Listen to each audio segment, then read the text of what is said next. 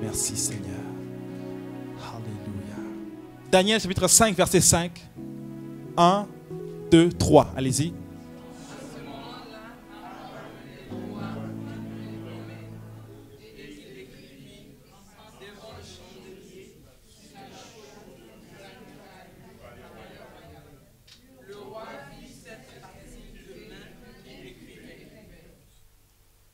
Et, et le verset qui suit?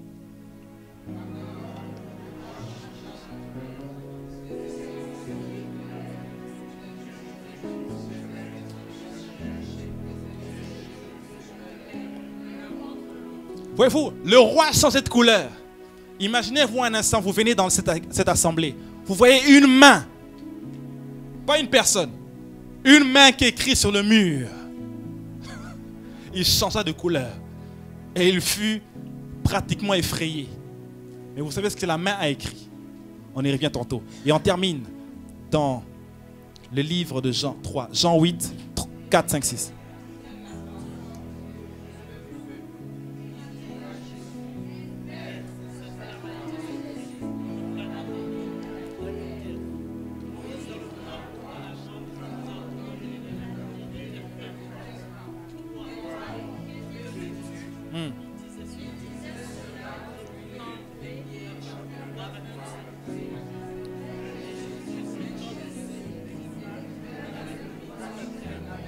Alléluia. Amen. Que Dieu bénisse sa parole. On va prendre place dans la présence du Seigneur. Je crois de tout mon cœur que la Bible est la parole inspirée de Dieu.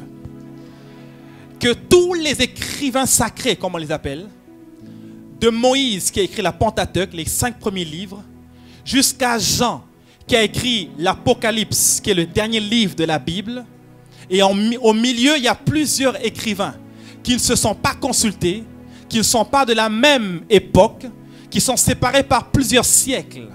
Mais tous emmènent un seul message. La preuve que c'est l'Esprit du Dieu vivant qui les a inspirés, qui a soufflé au travers eux pour écrire les Écritures ou la Bible que considère aujourd'hui comme étant la parole de Dieu. Donc Dieu utilise des hommes pour parler aux hommes. Dieu a utilisé des hommes pour écrire cette parole qui est une vérité établie qui transcende le temps et l'espace. La Bible qu'on considère comme étant la parole de Dieu, mais elle a utilisé la main de l'homme. Mais dans cette Bible-là, on voit maintenant, selon ce que j'ai dit dans la Bible, à trois reprises, qu'on voit une main qui n'est pas la main de l'homme ordinaire, mais la main de Dieu lui-même. La première fois, c'est dans Exode. On voit Dieu lui-même qui écrit les commandements sur des pierres. Il écrit lui-même et il donne cela à Moïse. La Bible est claire. Il donne à Moïse. Moïse reçoit. Moïse n'a rien écrit. Donc ce n'est pas un homme qui a écrit. Ce n'est pas un artiste. C'est Dieu lui-même qui a écrit. Mais la première fois qu'il écrit, il s'agit de la loi. La loi, en réalité, on n'a pas le temps d'entrer là-dedans. La loi qui, en réalité, nous montre, en réalité, le besoin d'un sauveur. La loi nous montre notre, notre nature pécheresse et ainsi le besoin d'un sauveur. En réalité, depuis que la loi est sortie, l'homme s'est rendu compte de ses limites. Parce que l'homme a été incapable de suivre lettre pour lettre la loi. Parce que lorsque tu vas, tu vas manquer à respecter une loi, tu vas enfreindre toute la loi. Et donc, la loi nous montre notre manquement et ainsi le besoin d'un sauveur. La deuxième fois que la main de Dieu va écrire, là il s'agit du jugement. En réalité, dans le temps de Daniel, le roi a lu ce qui était écrit, qui voulait simplement dire que tes œuvres seront pesées. Alléluia, c'est le jugement. Tes œuvres seront pesées. Tes œuvres, à la lumière de la loi, vont être pesées. Donc la première fois, c'est la loi. La deuxième fois, c'est le jugement. Tes œuvres sont pesées par rapport à la loi. Mais la troisième fois, nous allons dans le Nouveau Testament. Ce n'est pas un simple homme. C'est l'homme de Galilée. 100% homme, mais 100% Dieu également. Il a écrit mais sur le sol. Qu'a-t-il écrit sur le sol? Maintenant, je ne saurais pas amener un message extra-biblique au nom de la révélation. Je ne pourrais pas le faire. Plusieurs théologiens ont plusieurs théories là-dessus. Mais le contexte est le suivant. C'est qu'on attrape une femme en flagrant délit. D'abord, moi j'ai un problème. La femme, elle était seule ou elle était avec quelqu'un? Ah. Mais on a emmené une personne. Où est l'autre? Ça, c'est la loi. La loi des hommes. All right? On amène une femme et on condamne cette femme. Jésus arrive et il ne répond pas rapidement. La Bible dit qu'il se met à écrire sur le sol. Qu'est-ce qu'il est en train d'écrire Qui fait en sorte que quand il se lève et il demande que le premier qui n'a pas péché puisse jeter la pierre, un à un s'est retiré. Un à un s'est retiré. D'autres vont dire qu'il a dit en d'autres versions que le premier qui n'a pas commis ce type de péché puisse lancer la pierre. Ça, c'est grave. Maintenant, personne n'a pu le faire. Maintenant, d'autres théologiens vont dire qu'est-ce qu'il a écrit? Par le don de parole de connaissance. Il s'est mis à décrire le péché de chacun qui était là. Maintenant, j'ai dit que d'autres théologiens le disent. La Bible ne l'a pas précisé. Je n'aime pas aller dans les choses extra-bibliques. La parole s'explique par la parole. Bon, c'est possible. Il a écrit, il commence à écrire le péché de chacun. Chacun se retrouve. Et ils se sont enfouis. Mais voilà ce que moi je crois. Alléluia. C'est que la première main, la première fois Dieu écrit, et c'est la loi. La deuxième fois, c'est le jugement à la lumière de la loi. Mais la troisième fois, tout ce que je sais, peu importe ce qu'il a écrit, quand il s'est levé, la femme qui était condamnée ne l'était plus. Cela veut dire, Alléluia, Psaume 139 dit, avant que tu ne naisses, écoute-moi, Dieu a écrit dans son livre tous les jours de ta vie. Psaume 30, 139. Tous les jours de ta vie sont inscrits dans les livres de Dieu. Cela veut dire, selon la parole de Dieu, il y a un livre qui est le livre de la vie. Où sont écrits les noms de tous ceux-là qui ont été lavés par le sang de l'agneau. Tous ceux-là qui ont reçu Christ dans leur vie comme Seigneur et Sauveur. Alléluia. C'est le livre de la vie. Il y a également le livre de souvenirs. Quand vous lisez dans la Bible, vous allez voir qu'il y a un livre que les anges ont ouvert et qui était en train de décrire lorsque des justes parlaient. Alléluia. Les anges écrivent toutes les fois que tu sers le Seigneur, toutes les fois que tu pries, tu intercèdes, toutes les fois que tu fais du bien, toutes les fois que tu obéis à la parole, toutes les fois que tu sèmes pour l'œuvre de Dieu. C'est écrit dans le livre de souvenirs. C'est merveilleux de voir que lorsque tu te répands, le Seigneur efface tes transgressions. Mais lorsque tu obéis à sa parole, il écrit dans les livres de souvenirs. C'est dommage que nous, les êtres humains, on oublie le bien qu'on nous fait, mais on garde le mal qu'on nous fait. Tu effaces le mal que tu as fait et il écrit le bien que tu as fait. Il garde ce bien-là dans les livres de souvenirs. Mais il y a un autre livre, dans Psaume 39, qui n'est pas le livre de souvenirs il faut faire, il faut travailler, il faut agir pour que ça soit écrit dans le livre de souvenirs. Il n'y a pas seulement le livre de vie qui est inscrit tous les noms de ceux-là qui ont reçu Christ. Il y a un autre livre qui est un livre de destinée. Cela veut dire, avant que tu ne vives ton premier jour, ton dernier jour était déjà écrit. Voilà pourquoi je viens te dire que ce qui est écrit est écrit. Ce qui a été écrit pour ta vie, selon ta destinée, peu importe les circonstances. Je viens te dire qu'il y a un Dieu qui est capable de t'amener à bon terme, peu importe ce qui se passe en cours de route. Voilà pourquoi la Bible dit dans Romains 8, il dit ceci, qu'il est celui qui nous a prédestinés. Et celui qui nous a prédestinés nous a également appelés. Celui qui nous a appelés est celui-là qui nous justifie. Et celui qui nous a justifiés, c'est celui-là qui nous glorifie. Qui nous glorifie. Ce qui est glorifié est manifesté. Ce qui est glorifié est exposé et manifesté. C'est pour dire qu'il t'a prédestiné. Le mot pré veut dire avant. Avant que tu ne commences ta route, il avait tout préparé. Avant que tu ne naisses, il avait tout fini pour toi. Donc il a tout fini, il a dit maintenant tu peux commencer. Parce que Dieu ne commence pas par le commencement. Dieu fait tout ce qu'il a à faire.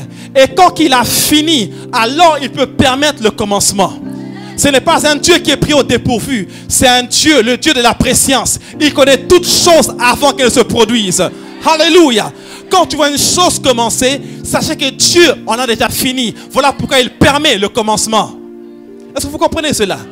L'alpha et l'oméga. Il n'est pas sujet au temps. Voilà pourquoi il termine toutes choses avant que les choses ne commencent. Donc, tu as été prédestiné. Peu importe ce qui arrive dans ta vie, sache que tu as été prédestiné. Avant que tu ne commences ta vie et que tu dis je m'en vais vers ma destinée, tu as été prédestiné.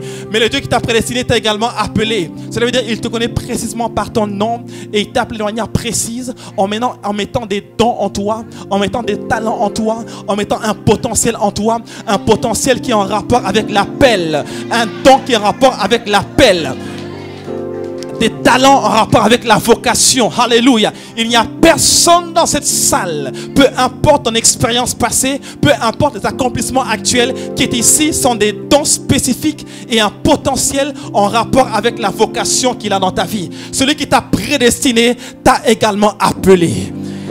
Il n'y a pas que les cinq dons de Christ qui sont appelés apôtres, prophètes, évangélistes, pasteurs et docteurs. Non, il y a des gens qui sont appelés dans différents domaines à exceller pour la gloire de Dieu et manifester la gloire de Dieu. Alléluia. Dis Amen quelqu'un. Non seulement il t'a appelé, mais tu dois comprendre qu'il est également le Dieu qui te justifie. Parce qu'en cours de route, il y a des événements qui te donnent le sentiment d'être disqualifié, le sentiment d'être mis de côté. Mais Dieu dit non, ce qui est écrit sur ta vie est écrit.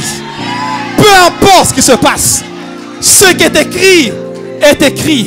Peu importe l'adversité qui vient contre toi, ce qui est écrit dans le livre de destinée doit s'accomplir dans ta vie. Dans le nom de Jésus. Voilà pourquoi il est le Dieu qui te justifie. Alléluia. Cela veut dire, peu importe les langues qui s'élèvent contre toi, peu importe ceux qui disent que tu ne réussiras pas, il est le Dieu qui te justifie. Tu pas à te justifier. Il te justifie. Il parle en ta faveur. Il n'est pas contre toi. Si tu es lavé par le sang de Jésus et que tu mets ta confiance en lui, il est celui qui te justifie. Mais celui qui te justifie te glorifie également.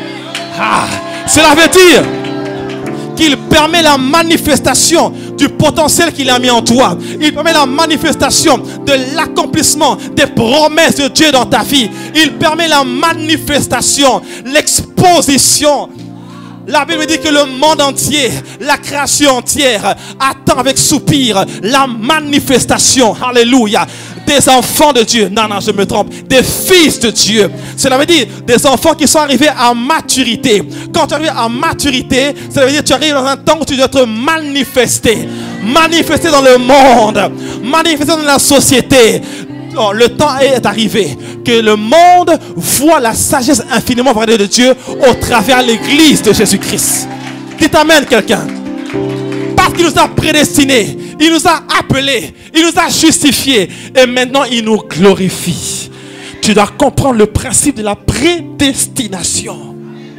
Avant que tu ne commences, il avait fini.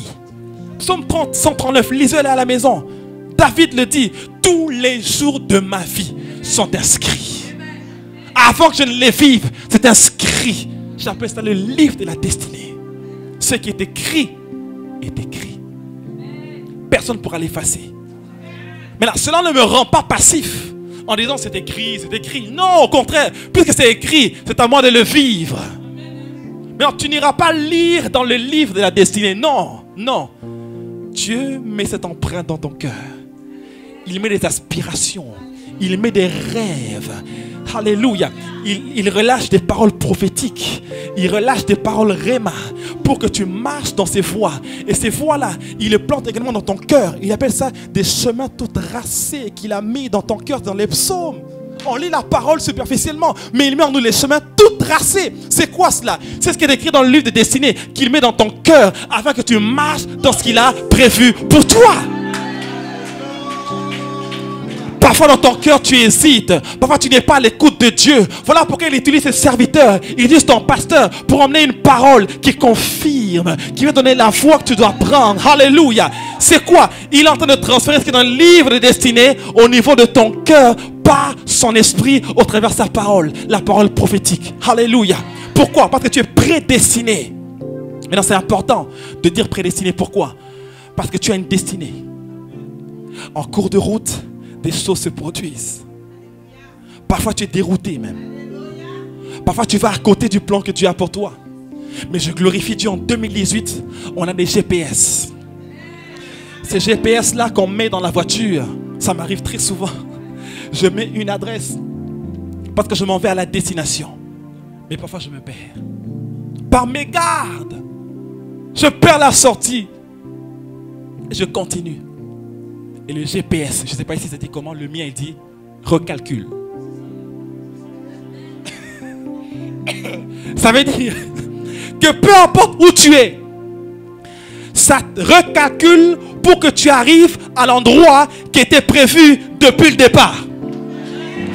Je ne sais pas où tu te trouves maintenant. Je ne sais pas ce qui s'est passé dans ta vie. Mais le GPS divin est en train de recalculer. Pour que tu... Ah, pour que tu ailles à la destination qui était prévue depuis le commencement. Alléluia. Dites Amen quelqu'un. Alléluia. Saviez-vous que le nom du sauveur, non pas sauveur, rédempteur, le mot rédemption et rédempteur. Le travail du rédempteur, c'est pas juste te sauver pour avoir la vie éternelle. Le mot rédempteur, ça veut dire, écoute-moi très bien, rédempteur veut dire te réparer au point que tu sois à l'état d'origine. L'état d'origine.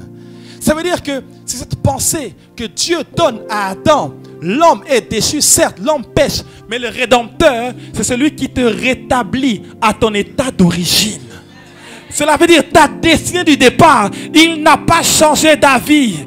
Il est le même Dieu qui t'a parlé il y a 10 ans, qui va le faire aujourd'hui. Celui qui t'a parlé il y a 20 ans, il peut encore le faire aujourd'hui. Tu as certes perdu le temps, mais Dieu est capable, en un moindre temps, de faire ce qu'il avait prévu de faire depuis le commencement. Alléluia. Plusieurs parlent de Samson comme un homme qui a échoué. Pas de problème, je suis d'accord avec vous. Mais une chose que je sais, alors qu'il était dans le ventre de sa mère, Dieu a dit qu'il était là pour détruire les plans des Philistins ou libérer le peuple d'Israël de la main euh, d'oppression des Philistins. Maintenant, écoutez-moi, durant toute sa vie, il a tué des Philistins. Il a tué des groupes de Philistins. Il a tué plusieurs Philistins. Mais voyez-vous, à un moment donné, à cause de Dalila, de cette femme, regardez, il a donné son secret et on a crevé ses yeux. Il était incapable de voir. Et finalement, on le met devant toute une foule de Philistins se moquaient de lui à mort. Il était là comme un animal dans le zoo. Mais alors qu'il était là, il demandait à un petit Philistin, please emmène-moi après des colonnes afin que je puisse m'appuyer. Il est allé auprès des colonnes et il dit, Seigneur, accorde-moi encore de la force. Donne-moi encore une autre chance. Il a parlé au Rédempteur. Et la Bible dit en cette seule journée, il a tué plus que ce qu'il a tué durant toute sa vie. Bien, mais j'aimerais te dire, peu importe le temps que tu as perdu, il y a un Dieu que tu sers et tu adores. Il est le Rédempteur. En cette journée, il peut faire un changement radical qui fait en sorte que tu fasses en cette saison plus que ce que tu as fait jusqu'à maintenant même. J'aimerais te dire que le Dieu qui t'a prédestiné est capable en un seul moment, en cette saison, d'emmener un chiffre qui fera en sorte que tu aies un impact maintenant que tu n'as jamais eu durant les années passées. Parce que Dieu t'a préparé durant les années passées. Ce n'est pas une perte de temps. Ce n'est pas que tu as perdu le temps. Ce n'est pas que tu es disqualifié. Te préparait. Dieu te rendrait plus mature. Dis avec moi, je suis préparé. Je suis plus sage aujourd'hui. Je suis plus fort aujourd'hui. Je suis plus avisé aujourd'hui. Dans le nom de Jésus. Ne laisse pas le diable te dire que tu as perdu le temps, ou que tu es disqualifié, ou que tu n'es plus à, à la hauteur, parce que Dieu te préparait. Même le mal qui est venu contre toi, il peut le tourner pour ton bien. La Bible ne dit-elle pas dans Jean 50, 20 que le mal qu'on a eu à, à- à faire contre Joseph, la Bible dit que ce mal, Dieu l'a converti en bien. D'autres versions vont dire que la malédiction, il l'a converti en bénédiction. Le mal que les frères ont projeté contre Joseph, il l'a changé en son bien et a fait de ce mal un tremplin pour la royauté. Ou si tu veux, pour être le premier ministre ou le gouverneur en Égypte, je prophétise dans ta vie que tous les projets des méchants contre toi vont se tourner en ta faveur. Je décrète dans le nom de Jésus que tout le mal qui a été projeté contre toi sera tourné maintenant comme un tremplin qui va te projeter dans ta destinée, dans le nom puissant de Jésus-Christ. Je le redis encore, ce mal va être comme un instrument de Dieu pour te projeter vers ta destinée dans le nom de Jésus-Christ de Nazareth. Alléluia. Tu es prédestiné. Ce qui est écrit est écrit. Je sais qu'il y a des choses en arrière, peut-être dont tu n'es pas fier. Oh, mais comme j'aime le dire, ne laissez jamais le diable venir accuser un homme repenti. Oh non. Jonas avait une, visi- une mission qui venait de Dieu. Dieu l'a dit, va à Ninive et prêche. Son cœur méchant l'a dérouté de Dieu. Parce qu'il savait que Dieu est un Dieu de compassion, de compassion. Et si jamais il prêche la parole, qui se répandent, alors Dieu va encore les accueillir. Il avait un cœur méchant. Il s'est détourné de la voie de Dieu. Mais en se détournant de la voie de Dieu, il était dans un navire. Dieu a permis la tempête. Finalement, en tirant au sort, vous savez ce qui s'est passé? On l'a jeté dans la, dans la mer ou dans l'océan, peu importe. En le jetant dans la mer, il y a une baleine qui est venue l'avaler. L'avaler une baleine, un gros poisson, qui l'a avalé. Et finalement, il était dans le ventre d'un poisson. J'ai eu des problèmes dans ma vie. Mais te retrouver en plein milieu d'un problème qui te vomit quand il veut, pas quand toi tu veux. Et tu peux m'aller dans le système digestif et là tu es fini à vie. Mais là, dans le ventre de poisson, la Bible dit clairement qu'il s'est repenti. Il a parlé à Dieu. Maintenant, la question que je vous pose, où est-ce que ce poisson a vomi Jonas Mais lisez la Bible. Qu'est-ce que c'est écrit? Bien aimé dans le Seigneur, le poisson l'a emmené là où Dieu l'avait appelé. Aïe, aïe, aïe, aïe, aïe, aïe, aïe. Maintenant, être avalé par un poisson, c'est un problème. Mais ce problème l'a emmené vers sa destinée. Je déclare dans le nom de Jésus-Christ, peu importe le problème qui t'a absorbé, il va te vomir dans ta destinée. Il va te vomir là où Dieu t'a appelé. Dans le nom puissant de Jésus-Christ de Nazareth. Peu importe le temps que tu as passé dans le ventre du poisson, il te vomira là où Dieu t'a appelé. Dans le nom puissant de Jésus-Christ de Nazareth. Lève ta main et crie Alléluia. Ce qui est écrit, c'est trop tard. C'est trop tard. Ce qui est écrit est écrit. Je suis destiné à la grandeur. Je suis destiné à la réussite. Je suis destiné à la percée. Je suis destiné au progrès. Je suis destiné à l'élévation. Peu importe ce qui se produit devant moi. Je suis tellement destiné et prédestiné que la Bible dit, Alléluia, David va dire, il fait de mes ennemis mes marchepieds. Jésus-Christ. Je ne sais pas si je parle mal français, mais pour moi, des marchepieds, c'est comme des escaliers. Plus tu en as, plus tu montes. Ah, j'aurais voulu qu'il y ait plusieurs ici. plus tu en as, plus tu montes.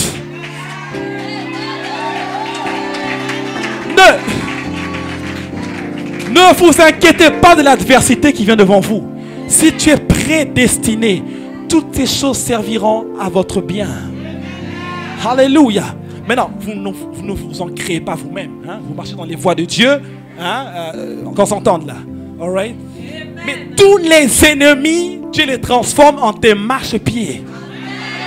Dans le nom de Jésus-Christ, je ne vois plus mes ennemis comme des ennemis qui peuvent m'empêcher d'avancer. Je les vois comme mes marchepieds. Dans le nom de Jésus-Christ. La Bible n'a-t-elle pas promis dans, sa parole, psaume 23, que l'Éternel est mon berger? Il me conduit vers des verts pâturages, près des eaux paisibles, je ne manquerai de rien. Qu'est-ce qu'elle veut dire encore par la suite? Il dresse, il dresse, il dresse, il dresse une table. Où? Devant qui? Devant qui? Devant mes adversaires, il dresse une table. Bien mais toi, c'est-à-dire que s'il n'y a pas l'adversité, quelle table sera dressée devant toi? Il y a une table qui est dressée devant tes adversaires. Bien aimé Seigneur, l'adversité te rend plus fort. L'adversité te demande de compter uniquement sur Dieu. Il y a de ces moments où tu rencontres un Goliath dans ta vie. Tu sais que ce n'est ni le javelot, ni l'arme qui peut t'aider de t'en sortir. Tu ne peux que venir au nom de l'éternel des armées qu'il a insulté. Alléluia. Il y a ces choses auxquelles on peut se battre tout seul. Mais ces choses, tu sais que si Dieu n'intervient pas, je suis cuit. C'est là même où la puissance de Dieu se manifeste. L'apôtre Paul l'a compris. Il a réalisé que c'est quand il est faible qu'il est fort. Comment il peut le dire ainsi? C'est parce qu'il est faible, il ne compte que sur la puissance de Dieu. Quand il est faible, il ne compte que sur le Seigneur. C'est alors qu'il est fort. Parce que par la puissance de Dieu, il devient fort. Alléluia. Et il peut tout par Christ qui le fortifie. Je viens dire à quelqu'un ici, ce qui est écrit est écrit. Je viens te dire que tu n'es pas disqualifié, peu importe les difficultés que tu as rencontrées. Je viens te dire, bien aimé dans le Seigneur, que Dieu savait que tu rencontrerais ces choses. Il est le GPS par excellence qui dit ce matin, recalcule et te ramène dans la voie pour que tu avances vers ta destinée. À partir d'aujourd'hui, rachète le temps, marche par la foi, maximise le moment. Comprends que Dieu a mis en toi un potentiel en rapport avec la destinée qu'il a tracée pour toi. Que plus rien ne t'arrête, que plus rien ne te freine. Parce que si tu marches avec ton Dieu, personne ne pourra t'arrêter. Alléluia. Avec Dieu, tu feras des exploits. Peu importe le lieu géographique. On s'en fout de où on se trouve. Montréal, Paris, Abidjan ou Kinshasa. C'est pas important. L'important, c'est de marcher avec le Dieu de la promesse avec le Dieu qui m'a prédestiné, qui m'a appelé, qui m'a justifié, et aujourd'hui qui me glorifie dans le nom puissant de Jésus-Christ de Nazareth.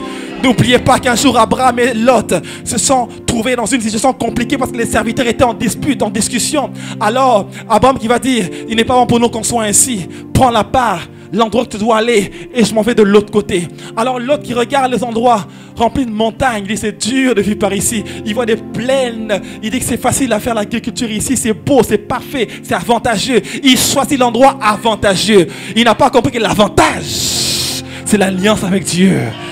L'avantage, c'est la promesse de Dieu. Ce n'est pas le lieu géographique. Oh, je connais des gens qui sont aux États-Unis pour chercher la vie. La vie les a fouillés. Le lieu avantageux n'est pas avantageux. C'est l'alliance avec Dieu. C'est la bénédiction de Dieu qui peut te rendre prospère en Iran comme en Irak, à Paris comme à Bruxelles, à Abidjan comme à Bamako, à New York comme à Montréal. Ce Dieu te rendra prospère là où tu es. Alléluia. Il a dit à Abraham, Abraham a compris que ce n'est pas l'endroit qui est important, ce n'est pas les montagnes ou la plaine, mais c'est le Dieu de la promesse. Parce que quand Dieu a parlé à Abraham, l'autre n'y était pas, mais il a compris qu'il avait une destinée en son Dieu. Alors Dieu lui parle et lui dit, Abraham, de là où tu es, regarde vers le nord, regarde vers le sud et l'est et l'ouest, car là où tes yeux peuvent regarder, je te donne ce lieu en possession. Dieu dit de là où tu es, ça ne dépend pas de l'endroit. Seulement là où tu es, regarde comme moi, vois la vision, vois mes promesses et j'agirai. Peu importe où tu es, de là où tu es. Alléluia. Je viens te dire, tu n'as pas besoin d'être surqualifié. De là où tu es, ouvre tes yeux et vois la promesse de Dieu. Vois ce que Dieu peut faire et il agira dans le nom puissant de Jésus-Christ. Aussi loin que tu peux voir, il te donne ce lieu en possession. Lève ta main et crie Alléluia. Levons-nous ensemble dans la présence du Seigneur. Jésus a renouvelé ma force. il a renouvelé mes biens, il a renouvelé ma famille.